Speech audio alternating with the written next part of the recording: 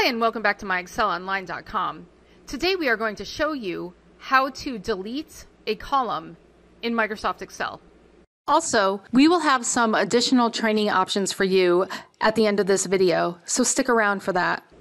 So here I have an Excel spreadsheet, and I can see that I have a column for full name, and then I also have a column for last name.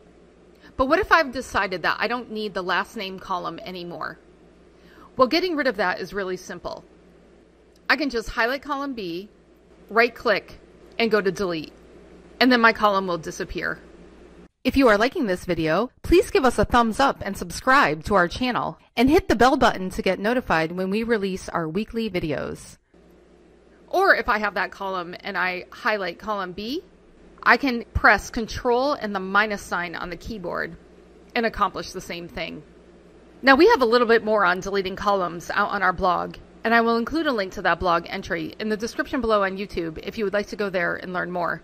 If you have any questions or comments, please leave them for us and we'll get back to you. Thanks for watching and see you again next time.